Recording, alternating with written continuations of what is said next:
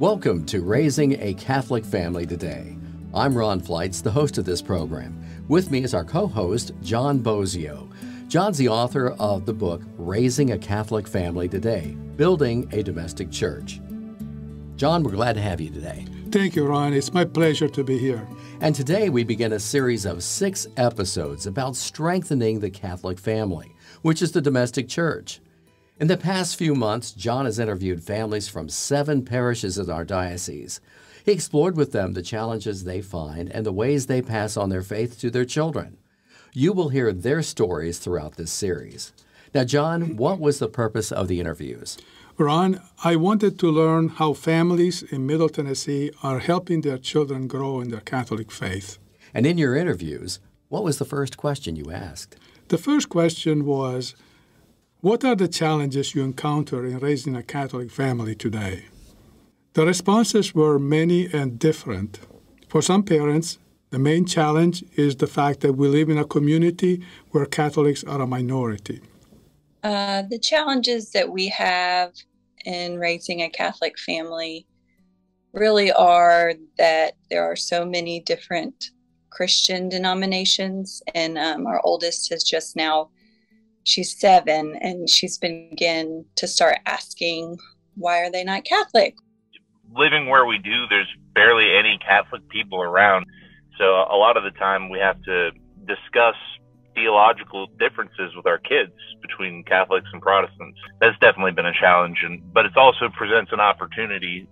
I think that's a good point. Living in this part of the country, um, our kids are exposed to a lot of different faith traditions, and I think one of the challenges is honoring all of those different faith traditions respectfully while also educating our kids on why we are Catholic. For other parents, the challenge is helping their children make sense of the situations they encounter in today's world. I think one of the biggest challenges we face in raising a Catholic family is raising them amidst peers whose parents are raising them with different values and sometimes values that conflict with Catholic teaching and to teach your children Catholic teaching and but then also teaching them to love their peers at the same time. They're exposed to things out of our control in our daughter's preschool who, you know, our daughter's not our eldest is not even 5 yet, came home probably about 3 weeks to a month ago saying do some kids have two mommies? Being faced at, you know, 5 years old, the reality of what do you do in this situation when you're invited to a play date at someone's home who has a non-traditional marriage? Still other parents are worried about protecting their children from the values they are exposed to through their electronic devices. The biggest challenges in raising our catholic family is monitoring what our kids see what they hear what they take in we're concerned about the video games, cartoons, movies that are directed toward kids, but then they promote violence or revenge, or sometimes they even have subtle sexual implications.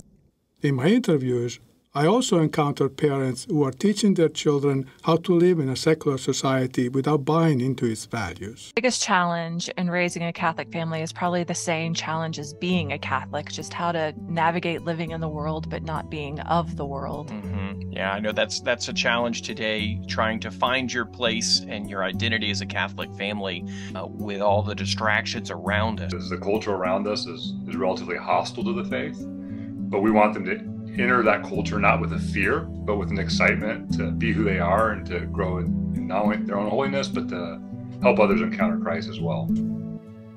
As you can hear, the challenges that parents encounter are many, and we are all trying to do our best.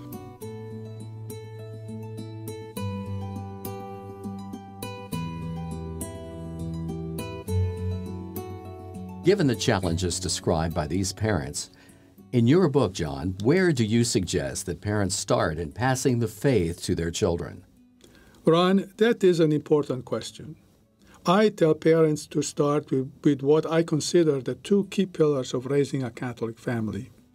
The first is the importance of being intentional. The second is making room for God in our daily life. So let's start by exploring what it means to be intentional. Ron, what does being intentional mean to you personally? John, to me, it means acting with a purpose in a way that is likely to give the results that is hoped for. Yes, I agree, Ron. Being intentional means acting with a purpose. So I ask families what being intentional in passing on the Catholic faith means for them. Parents describe to me three levels of being intentional. The first level is simply doing what Catholics do. To be intentional in passing the Catholic faith to our kids there are two really key things to me. One is sending them to Catholic school and surrounding them with Catholic values. Um, number two is just doing that at home as well. So going to mass regularly, praying as a family, those type of those type of things.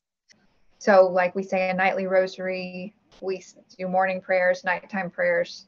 And mass attendance, that's a big one. The sacraments, it was very important to us that he did all the sacraments of initiation. We do not miss uh, church on Sundays, no matter what, unless we're dying. They already know that. and uh, they have to go dressed up. And so that's a challenge because, especially the teen, you know, he's like, well, why do I have to dress up? So, parents need to help their children form habits of daily prayer and of regular participation in the sacraments. But they also need to explain what we do and why we do it. That is the second level of intentionality. It's really important to be intentional with them as far as the way that we pray with them. So not just doing it and but also being intentional about why we're doing what we're doing and that they understand what we're doing and trying to provide that core value for them and understanding this is why who we are and why we choose what we choose also to engage our children in a lot of discussion about what's going on around them that we try to have that discussion about what does this look like in light of our catholic faith. It's, it's very important that we as parents um, guide them because if we don't the world will take over over them. Finally the third level of being intentional is modeling a life of faith. In other words practicing what we preach to be intentional in passing on the Catholic faith to our children means that we really need to make our faith the priority. I have to be very intentional about modeling a faithful lifestyle mm. uh, to my children. Uh, so that they can watch the way I live uh, and and see a man that's trying to live out his faith. Obviously, I know that I have many failures in that, and and that's a struggle on a day to day basis. But I I, I try to think about how my behavior and how what my children see me doing will affect their faith life down the road. To be intentional is to just practice what we preach. So, whether we are a two parent family or a single parent family, we pass on the faith to our children by doing, explaining, and modeling. Of the three, modeling is the most important this is what Pope Francis told parents. The important thing is to transmit the faith with your life of faith.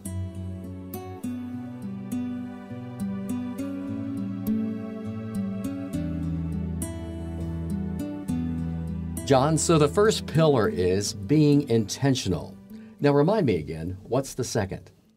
The second pillar in raising a Catholic family is remembering that God is part of our family.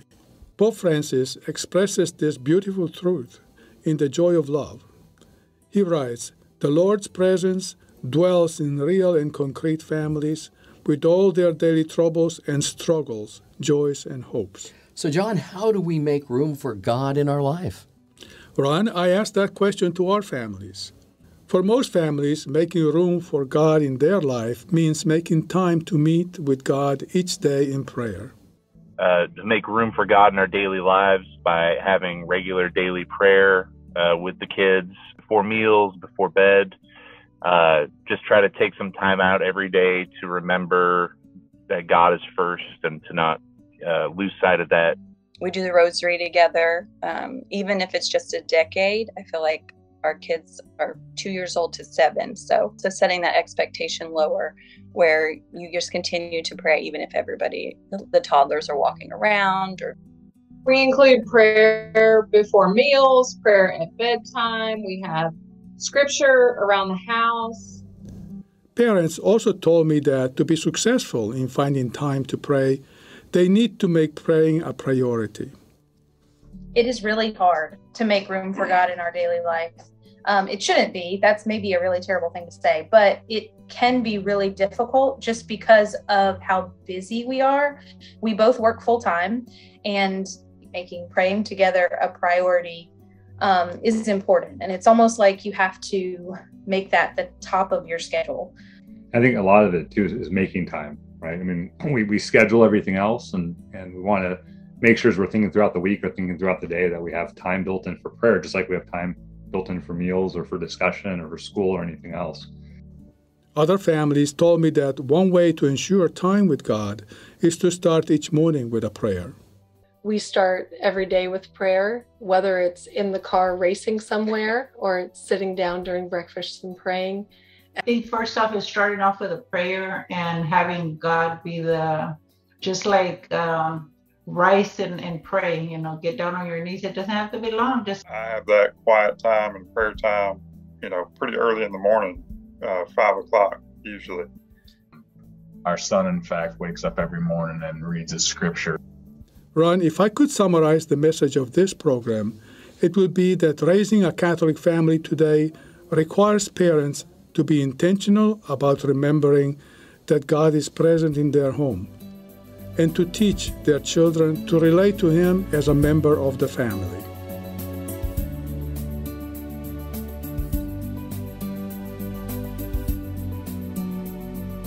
John, let's now consider the topic of the first chapter of your book, which is Our Home is Our Sanctuary.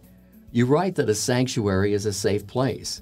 In building a Catholic home, we want our children to feel welcomed, safe, and cared for. So, where do we start? Ron, I believe that the first step is to know if our children feel safe. As parents, we want to be aware of what causes our children to feel anxious. So I asked parents, What are your children anxious about? Parents told me that what makes their children anxious varies depending on their age. Parents report that their children are anxious about fitting in, not wanting to be left out, doing well in school, being accepted by their peers, finding approval from their teachers. I think it's a funny question because you could always ask, you know, which child on which day. You know, there's so many anxieties uh, that that come up. We we see our children struggling with anxieties about school or activities and relationships, uh, which are all a normal part of life. But I think more, recently, in the past few years, we've noticed our, especially our older children, struggling with anxieties about communication, uh, specifically like social media and point on the eight-year-olds, and I think for them, they're most anxious about loneliness, fitting in, doing things right, um, and not and not um, upsetting their peers or parental figures or some sort of authority figure recently talked to some of our grandchildren about what makes them feel anxious. And some of their responses included I'm worried about making a mistake. I'm afraid of not being good enough or not performing well enough or not making my parents proud. Being aware of our children's feelings becomes more difficult as they get older, but we must make an effort Let's listen to one family's experience.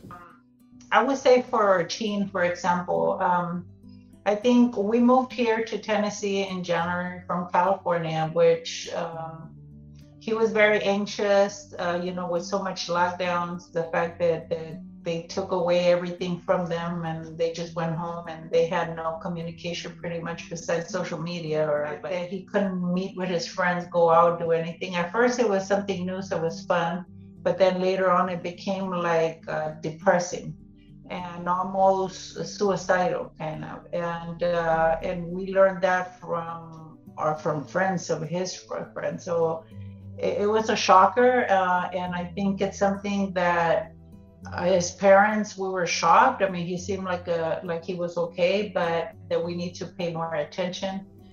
This adolescent had suicidal thoughts and the parents learned about it only from his friends. In the US, Suicide is the second leading cause of death among young people aged 15 to 24, according to the National Alliance on Mental Illness. And that's astounding. In your book, you mentioned that children feel anxious when they are exposed to conflicts between their parents. Can you expand on that, John? Yes, I will. That is a good point. The parents, united as a couple, are the source of stability in the home. When the children see or hear their parents fight and argue, they feel anxious because they fear that the stability of their home is threatened. Having said that, let me add that conflicts in a marriage are inevitable and perhaps necessary for the couple to grow. But I would say that when our children are exposed to conflicts, they need to also see that their parents are reaching a peaceful resolution and stability is returned. I ask parents, have you noticed how your children react when they are exposed to a conflict between the two of you? Yeah, I think that conflict in front of children do make them very anxious and worried. But if they're able to see that you've resolved it in front of them, if you're going to have a disagreement in front of them, it kind of brings that anxiety or that worry to a rest. They know when there's tension in the house. They know when there's tension between us. Um, yeah, our big kids will tend to back off, yeah. get quiet try to be a little less needy for a little while and give us some space. But, but that's the older children yeah. because I would say our youngest, um, he again is very sensitive to when mm-hmm. there's tension and tries to distract us with like happy thoughts. There's a conflict between the two of us. Usually our child reacts by wanting to be a peacemaker. Parents also said that while they are shielding their children from major conflicts, when minor disagreements happen, they hope to be able to model for them how to resolve their differences.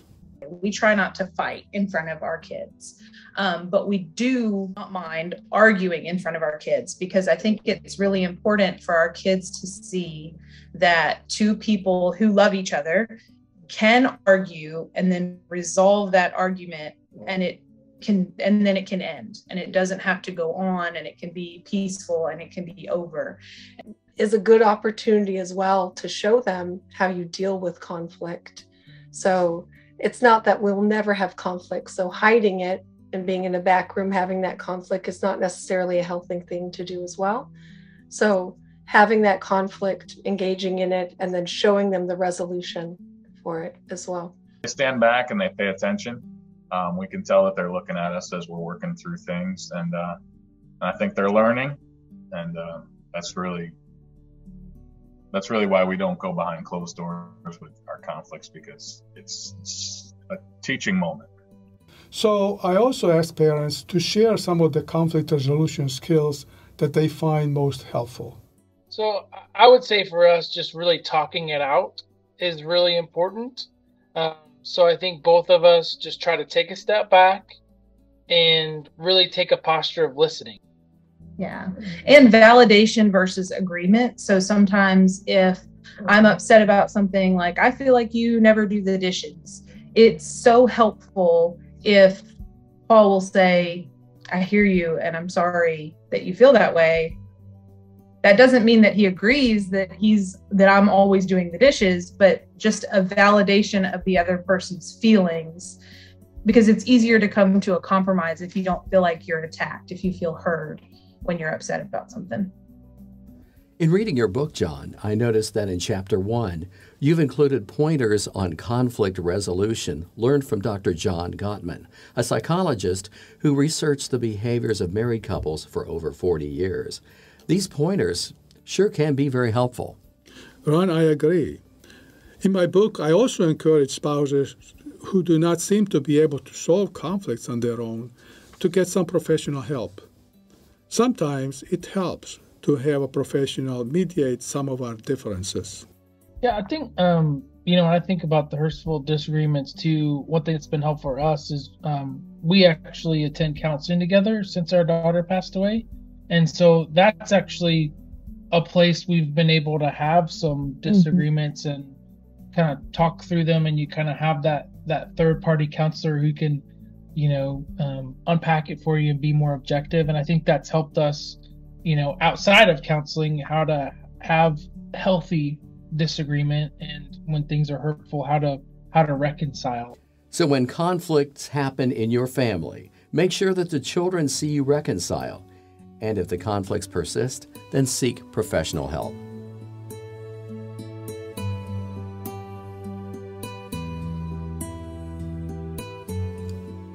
John, what else can parents do to make their homes safe for their children? Ron, there is another aspect of home safety that parents need to be aware of. It is to guard against intruders. This is especially true today with regard to the use of cell phones, internet, social media, and video games. Pope Francis commented Parents need to be concerned about who is providing their children's entertainment and who is entering their rooms through television and electronic devices. So I asked parents, what rules do you have for your children's use of media? I heard many wonderful ideas about managing the electronic devices, when and where they are to be used, and accountability in using them. Let's listen.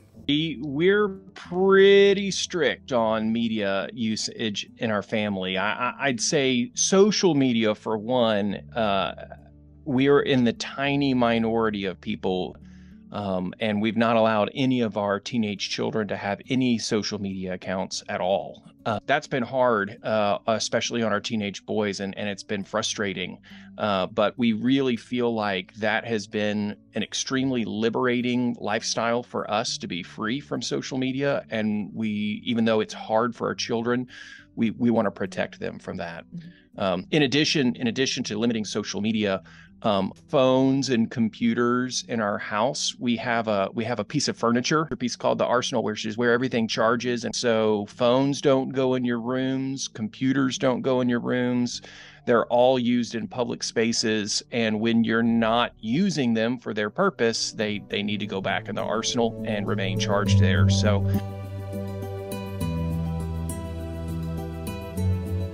And we also have a designated like no phone by a certain time each day.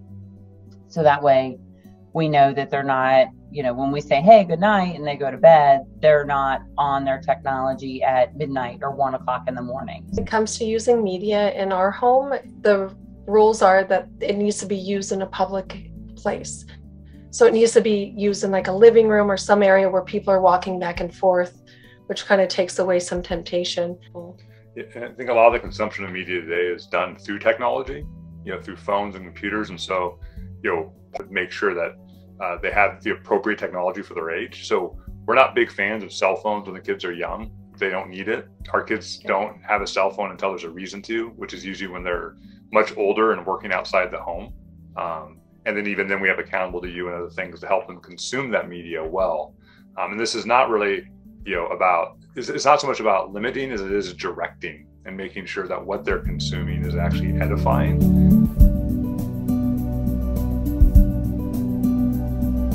We have to be able to access it. So if they if they have it password protected, we know the passwords. We should be able to look at their history, their pictures, their text messages. Like there's there's no secrets. We have Accountable2You on all of our, you know, phones, computers, and that kind of thing as well. So they're fully aware that anything they do on it, we can see everything, regardless if they save it on their history or not. John, as we conclude, let me summarize what we talked about in this episode. Whether you're a two parent or a single parent family, raising your children to be Catholics requires intentionality. And John, in your book, you compare family life to a voyage with a canoe in a river fraught with many competing currents. Being a canoeist, I understand that. You can wind up going any which way. Parents need to intentionally navigate the waters of today's cultural river to make it safely to their destination. And also, being intentional is not quite enough. To succeed on this voyage, parents need to recognize that Jesus is in their family's canoe with them, and they must listen to him. In closing, we ask everyone to make an effort to be aware of how your children feel what they are anxious about. And in addition, I invite you to A. Agree with your spouse on how you want to handle your disagreements, especially when the children are present. And B. Review your family's rules about the use of cell phones, TV, internet, and social media. I want to close with words of appreciation to the 12 families that shared their experiences with us during this episode. They are Sam and Courtney Bolton of St. Francis Cabrini, Chris and Rebecca Zarka of St. Edwards, Jackie and Gustavo Gasca of St. Stephen, from St. Lawrence, Ryan and Rebecca Hanning, Graham and Heather Honeycutt of St. Matthew, Matt and Fran Yeager of St. Matthew, Andrew and Joanna Johnfro of Holy Rosary, Robin and Cindy Roberts of Mother Teresa, Chris and Audrey Russell of St. Stephen, Brian and Stephanie Smith of St. Stephen, Brian and Katie Stockwell of Holy Rosary, and Paul and Amy Welsh, also of St. Stephen.